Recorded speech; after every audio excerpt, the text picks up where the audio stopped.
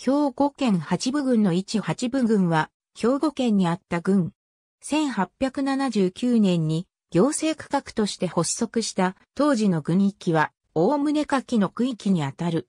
摂津 P7、軍名移動一覧には、矢田部、八田部、八部と、時代あるいは書物によって異なる表記が用いられてきたことが記されている。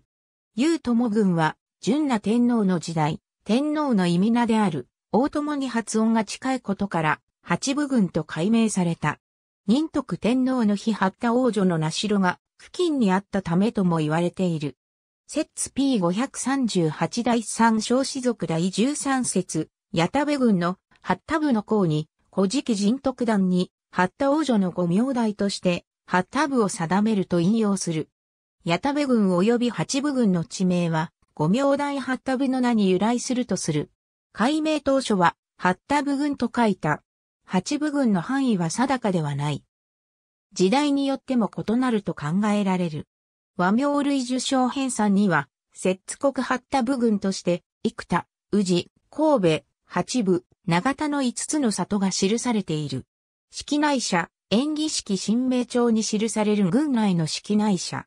21、港村22、林田村23、妻村24、山田村。ありがとうございます。